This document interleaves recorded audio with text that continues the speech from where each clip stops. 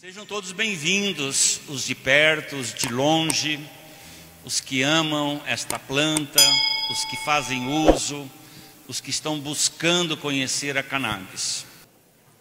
Viva a Santa Erva! Viva! E essa celebração de hoje, ela é revestida de testemunhos para mostrar que é uma planta divina, que é uma planta que traz paz para a família. Toda família se beneficia quando alguém usa. Na Bíblia, a palavra óleo aparece 97 vezes. E alguém perguntou: "Mas é o óleo da cannabis?"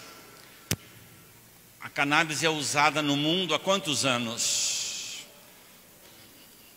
Milhares de anos. O evangelho, os que puderem ficar de pé, vai ser proclamado pelo Maurinho, ele é diácono e ele é o responsável de entregar sementes, sementes aqui na comunidade.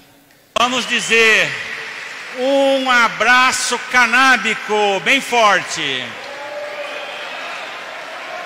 As mulheres, um abraço. Os homens,